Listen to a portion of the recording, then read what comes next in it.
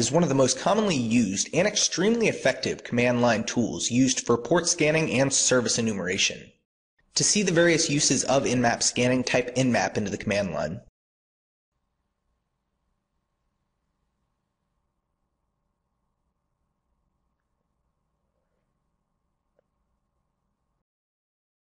To perform a TCP port scan of a single IP address, type nmap, then followed by the IP address that you want to scan.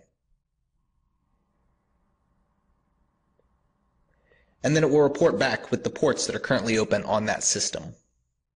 To perform a scan on a network range by entering the network address and then specify the range size by a slash and then the number of network address bits.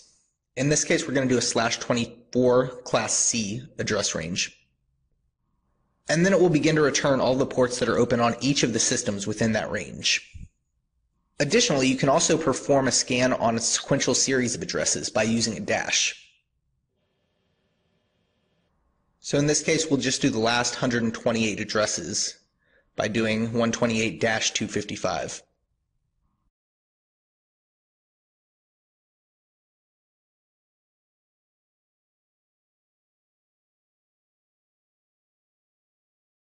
To scan for particular TCP ports, you can specify those ports with a dash P.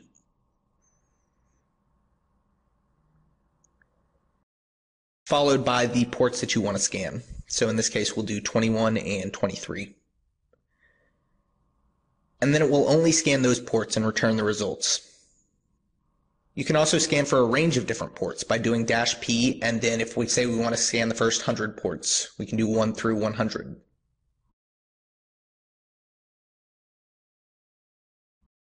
You can use a TCP ACK scan to determine if any ports are filtered by a firewall. You can do this by doing a dash lowercase s uppercase a and then the address that you want to scan. And then it returns the results showing what ports, if any, are filtered. You can also scan for UDP services with a UDP scan with lowercase s uppercase u now because UDP isn't connection oriented, this can take significantly longer than a TCP scan to perform. So we'll go ahead and cancel this one out. But if you want to look for particular UDP services, you can also perform a UDP scan on particular UDP ports. So using the same command, but this time dash P and then the UDP port you want to scan. So we'll do 53 for DNS. And then it returns the results on that. By default, Nmap uses SYN scans or half-open scans. But depending on the security settings of your target systems, you may have more success with other TCP flag scans, to include full connection scans, null scans, fin scans, Christmas tree scans, FIN-ACK scans, or ACK scans. So those are just a few ways that you can use Nmap for port scanning and service enumeration.